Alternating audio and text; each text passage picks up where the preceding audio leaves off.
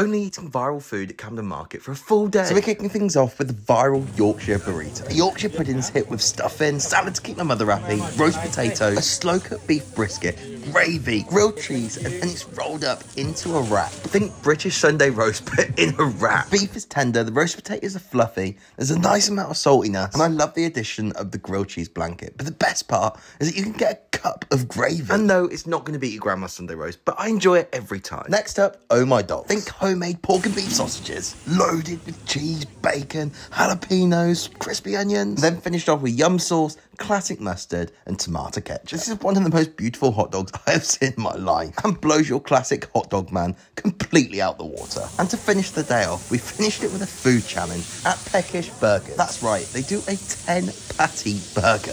We ended up splitting this up between four of us and still couldn't finish it. But their burgers themselves are top tier. If you can't take a date to come in, enjoy.